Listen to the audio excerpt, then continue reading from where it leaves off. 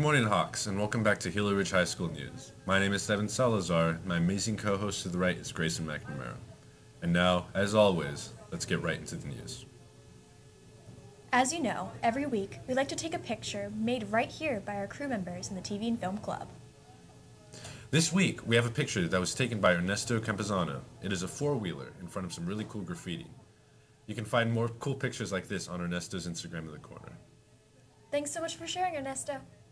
Now, in other news, the Hawk Success Center, which is taking place on March 30th from 4 p.m. to 5:30 p.m., an AWC Upward Bound meeting will be on March 28th from 3:45 p.m. to 4:45 p.m., and a Gamers Guild meeting on March 31st from 4 p.m. to 7 p.m. The study enrollment night will be on Wednesday, March 22nd from 3 to 6 p.m. It will take place at 899 E Plaza Circle Suite 1. If you are interested, either email the study program or call 928 366 5884 for more information. The AZ Science exam will be on March 28th for juniors only. Now, let's go to Kira for the weather.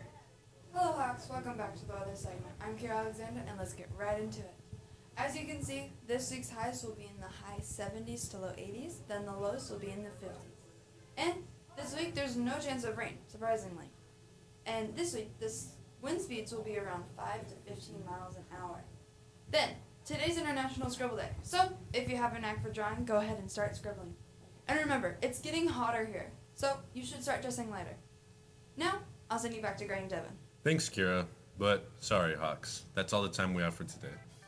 Thanks for watching, and as always, I'm Devin Salazar. And I'm Grayson McNamara. And, remember, it's always a great day to be a Hawk.